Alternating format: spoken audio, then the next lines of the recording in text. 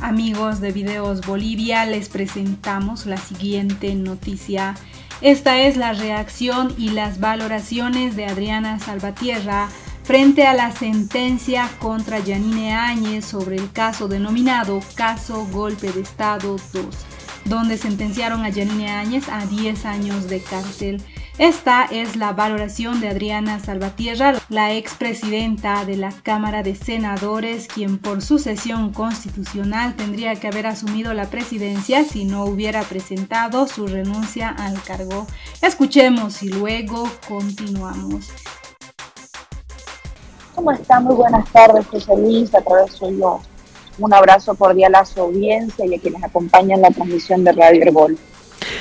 Bien, eh, hay una sentencia a la señora Yanine Áñez, expresidenta de Bolivia, por 10 años debido a un caso denominado golpe de Estado 2. Eh, eh, la sentencia es por em, incumplimiento de deberes e incumplimiento de la Constitución y las leyes. ¿Qué opinión tiene sobre este tema, Adriana?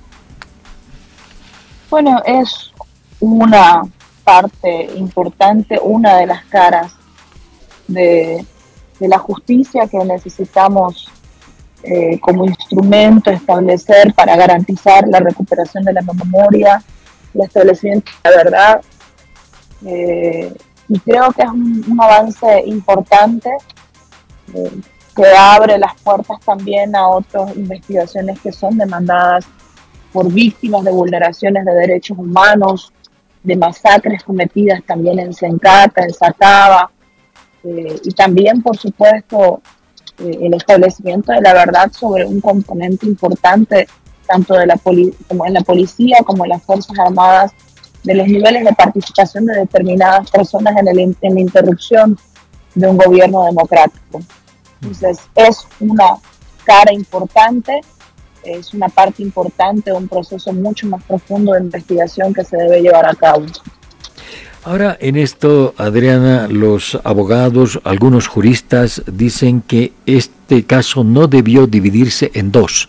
Es decir, debió ser un solo juicio, el de responsabilidades a llevarse a cabo en el Congreso Nacional, y no dos juicios. Y ponen como ejemplo el caso de Luis García Mesa, que fue juzgado en un juicio de responsabilidades eh, también por la muerte de Marcelo Quiroga Santa Cruz, que ocurrió eh, un día antes de que eh, los militares tomaran el poder en el año 1980. ¿Qué opinión tiene sobre eso? Primero que es una confesión confesión de parte respecto al carácter del gobierno de Yanine Áñez, la forma en la que asumió Yanine Áñez. Comparar a Yanine Áñez con una dictadura. Y eso es una confesión de partes importante por parte de determinados actores eh, y segundo, que de todas maneras, eh, más allá de la comparación que puedan y de las similitudes que puedan encontrar entre Yanine Áñez y, García Mesa respecto a la vulneración de derechos humanos y de la, ilegalidad con la cual asumió el poder, cabe destacar que nosotros hoy estamos regidos por una nueva constitución política del Estado que establece determinados procedimientos que precisamente fueron objeto de investigación de la justicia para determinar los dos tipos penales sobre los cuales ella fue sentenciada, que son incumplimiento de deberes que es, y resoluciones contrarias a la Constitución y las leyes. Entonces resume en que la señora Yanine Áñez, conociendo los procedimientos constitucionales que prevé nuestra, nuestra Carta Magna como mecanismo de resolución de las crisis políticas, pese a conocerlos, decidió accionar de forma distinta y ese accionar de forma distinta derivó en la interrupción de un periodo constitucional y en la transgresión de las normativas. Bueno, usted estuvo, era protagonista en esos momentos, en noviembre 10, 11, 12 de noviembre, eh, de lo que ocurrió en nuestro país con la ascensión al gobierno, a la presidencia de la señora Áñez. Em, ¿Usted tiene algún concepto, alguna idea de lo que pasó en ese momento? ¿Usted eh, opina que fue un golpe de Estado? Eh, ¿Usted puede sostener que fue un golpe de Estado? Claro que fue un golpe de Estado. Y fue un golpe de Estado con, con las características clásicas del mismo, tomando en cuenta la participación de las Fuerzas Armadas y policiales como mecanismos de represión del Estado, deliberando y tomando decisiones políticas y facilitando la interrupción de un mando constitucional. Hay quienes dicen que la protesta ciudadana le da un baño de legitimidad a las acciones eh, de la señora Yanine Áñez, pero esa protesta ciudadana, por muy legítima que sea, tiene dos, eh, dos rostros. Uno, eh, cualquier persona puede pronunciarse al respecto, pero el pronunciamiento, la protesta, no puede desde ningún punto de vista convertirse en un mecanismo de vulneración de derechos ajenos, como fue lo que sucedió con, los domicilios y los familiares de múltiples militantes del movimiento del socialismo, Patricia Arce en Cochabamba, Víctor Borda, eh, César Navarro en Potosí, eh, los el gobernador de Oruro, el gobernador de Chuquisaca, en Santa Cruz también los domicilios tanto de nuestros familiares como de otras autoridades. Y por supuesto el otro, el otro elemento que sin lugar a dudas da, da también una observación sobre esto es la participación de las fuerzas militares en facilitar el ascenso de Yanine Áñez. Yanine Áñez el día 11 eh, de noviembre fue trasladada en vehículos policiales, en aeronaves militares, peor todavía, eh, se, incluso esto fue declarado por los propios funcionarios de las cámaras, donde indicaban que eh, fuerzas policiales eh, desalojaron a los trabajadores de la Asamblea Legislativa e instalaron junto a las fuerzas militares y otras fuerzas cívicas cercos para impedir ingresar a la, a la, a la Asamblea Legislativa a los parlamentarios.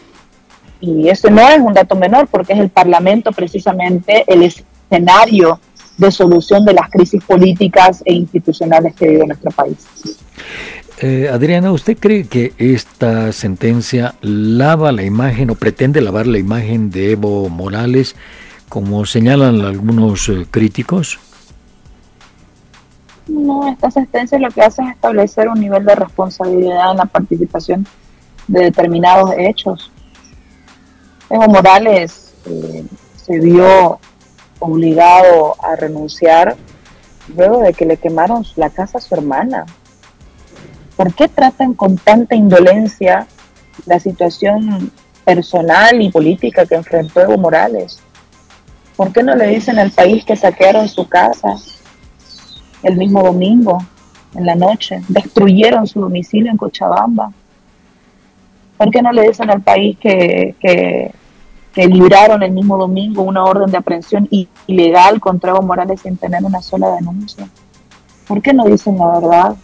¿Por qué no dicen que para forzar la renuncia de Víctor Borda fueron capaces de ir a quemar su casa y secuestrar, y secuestrar y abusar físicamente de su hermano, obligándolo a renunciar? ¿Por qué no le dicen al país que cercaron mi domicilio, el domicilio de Gabriela Montaño, de Susana Rivero, destruyeron el, domicilio del gobernador de Potosí, de Cochabamba, del gobernador de Sucre, de Chuquisaca, perdón, y nos vienen a, hacer creer que todos estos hechos fueron casuales, cuando aquí existe una organización sistemática de la violencia para interrumpir el periodo constitucional. ¿Qué cara se le va a lavar a, Evo Morales? ¿Qué responsabilidad Evo Morales tiene sobre el secuestro del hermano de Víctor Borda? ¿Qué responsabilidad tiene Evo Morales sobre el incendio de la casa de su hermana? del que nadie quiere hablar porque pretenden eh, destruir la figura de Evo Morales. Todo eso hicieron con él, todo eso hicieron con sus familiares, con nuestros compañeros del partido, niveles de violencia extremos con el fin de hacerse el poder para 10 días después corromperse. Esa fue, esa es la nota que queda eh, del gobierno de facto y de la forma que asumió el gobierno de facto Yanine Áñez, que fue un golpe de Estado. Adriana, estamos en un país polarizado. ¿Cómo cree que usted se puede, usted que se pueden solucionar todos estos conflictos que estamos viviendo aquí en Bolivia? Con la justicia, con la verdad, con la justicia, con la verdad, con la justicia para que para que se determine la realidad, se determine la verdad de los acontecimientos, que esa verdad construya una memoria histórica. Carlos Mesa renunció y nadie le quemó la casa. Carlos Mesa renunció y nadie le, secuestró a sus familiares. Gonzalo Sánchez de Lozada cuando renunció nadie le quemó la casa. Nadie secuestró a sus familiares. Y sin embargo, para forzar la renuncia de Evo Morales fueron capaces de intervenir su, su domicilio, el domicilio de su familia. Y eso no es democrático. Y eso debe darnos un aprendizaje también de las formas en las cuales nosotros concebimos la democracia. Eh, para que pueden haber diferencias políticas y la polarización no debe, no debe convertirse en un argumento para construir y legitimar una escalada de violencia que vulnere los derechos humanos. Entonces, en un país polarizado creo que es importante el establecimiento de la verdad, eh, el construir una memoria histórica de los acontecimientos y el garantizar la justicia para las víctimas. Y lo más, el paso más importante que viene después de haber obtenido este histórico fallo. Ahora, Adriana, eh, y esta es la última pregunta, ¿usted cree que eh, debe haber juicio de responsabilidades contra Yanine Áñez por los hechos de Sencati Sacaba o juicio ordinario por esos mismos hechos? Es la justicia la que, la que determina aquello. No, la verdad es que, que yo puedo tener una apreciación individual pero la apreciación que va a garantizar el cumplimiento del debido proceso, de la, legítima defensa, eh, está en manos de la justicia y a ellos les corresponde determinar. Lo que sí es que queda claro que de acuerdo a los informes de los organismos internacionales, 37 personas fallecieron eh, por la intervención de fuerzas militares y policiales autorizadas por decreto en el gobierno de Yanine Áñez. Y esas personas merecen justicia, esas personas merecen que, eh, el Estado asuma, eh, independiente, de todo, asuma la responsabilidad al respecto y, sean esos crímenes sancionados para que nunca más se repitan, para que nunca más tengamos que la sangre de nuestros, de nuestros compatriotas alteños vuelva vuelva a ser derramada en nuestro país. Bien, eh, Adriana, le agradezco mucho por estos minutitos con nuestra emisora, con la red Herbol, y seguro vamos a tener necesidad de conversar de estos temas más adelante. Muchas gracias. Muchas gracias, un abrazo cordial y saludos, saludos José Luis a usted, a su audiencia y hasta una próxima oportunidad. Bueno, creo que es el primero uno de los, de los hitos fundamentales para iniciar este proceso de establecimiento de la verdad, de recuperación, construcción de la memoria histórica y fundamentalmente para alcanzar eh, la justicia ah, para las víctimas de, las masacres de Sencate y Sacao. Creo que debe entenderse todo como un proceso que nos permitirá como país eh, construir esa memoria histórica, aprender de estas lecciones históricas eh, para, para hacia adelante. Y segundo, que se convierte también en un hito fundamental dentro de un proceso de investigación mucho más profundo que debe ser llevado adelante, que no solamente comprende, por supuesto, la forma en la que la señora Áñez asumió la presidencia del Estado ilegal e inconstitucionalmente, sino también que eh, nos debe llevar a investigaciones que establezcan el alcance real y la dimensión real de los acontecimientos de noviembre. No olvidemos que entre los días 11 y 12 de noviembre, miembros de las Fuerzas Armadas articularon con, eh, con, los gobiernos de Ecuador, eh, de Lenín Moreno, el gobierno de Mauricio Macri en Argentina, el traslado de materiales antidisturbios que presuntamente hubiera sido utilizado en las masacres de Sencate y Sacaba, y que esta, esta dimensión y este carácter internacional también merece una investigación correspondiente. Entonces, empezamos a, este, este juicio empieza fundamentalmente a establecer este proceso de memoria, verdad y justicia, pero al mismo tiempo el hilo de una investigación mucho más profunda. Eh, Adriana, en este caso, eh, ¿no es cierto? Bueno, una vez ya conocido el, dictamen precisamente realizado hace pocos días, eh, muchas personas, eh, especialmente del movimiento al socialismo, destacan que tal vez serían pocos años los que se le habrían dado a la exmandataria. en otro caso también los abogados, en este caso el abogado de la señora Áñez, ha determinado que se va a realizar, ¿no es cierto?, es decir, va a solicitar la absolución porque para él no existiría eh, la figura de golpe de Estado, ¿no? Se habría realizado tal vez, ella habría asumido constitucionalmente, ¿no es cierto?, eh, la, la autoridad, bueno, habría asumido la presidencia de, del país en ese momento. En todo caso, no existiría. Ellos van a pedir precisamente, los abogados de la señora Áñez, la absolución de esta determinación. ¿Qué criterio le merece en este caso?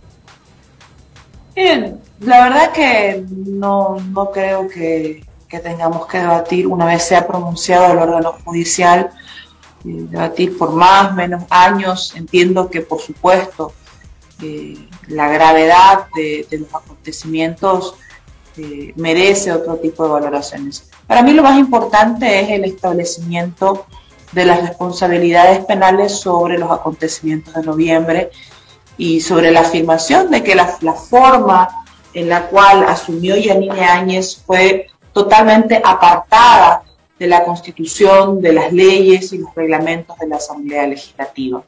Y que esa, ese conjunto de acciones sistemáticas que ella realizó buscando un hemiciclo vacío, pidiéndole a las Fuerzas Armadas y a las Fuerzas Policiales el resguardo de los alrededores de la Asamblea Legislativa para que nadie que sea de la bancada del movimiento al socialismo ingrese, hoy tengan una responsabilidad penal.